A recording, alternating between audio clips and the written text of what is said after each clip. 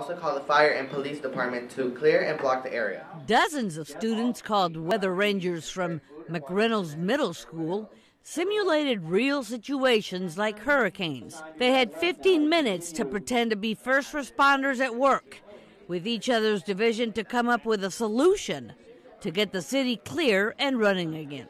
They're going to take on the roles and responsibilities that we manage day to day throughout the city the emergency managers, the police department, public health, fire department, EMS. I think this is very exciting for these boys and girls. The fictitious Category 4 hurricane, better known as Jasmine, wreaked havoc on local highways, leaking gas, causing fires on hundreds of vehicles that were stranded.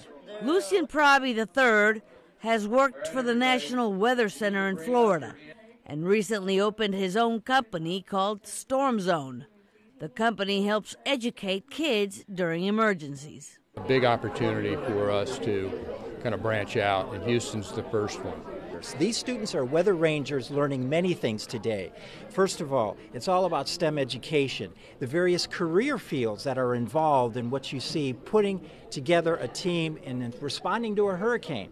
So they're learning hurricane science as well, but they're also learning now problem solving. They're learning uh, communications and how, uh, how can they work together, teamwork. Maybe someday these students will become first responders and work in this very room saving lives.